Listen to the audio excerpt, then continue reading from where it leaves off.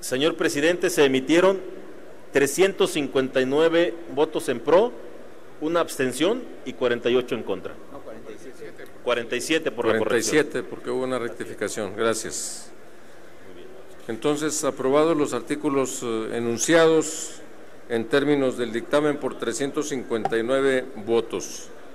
Y por lo tanto, queda aprobado en lo general y en lo particular el proyecto de decreto por el que se reforman, adicionan y derogan diversas disposiciones del Código Nacional de Procedimientos Penales, del Código,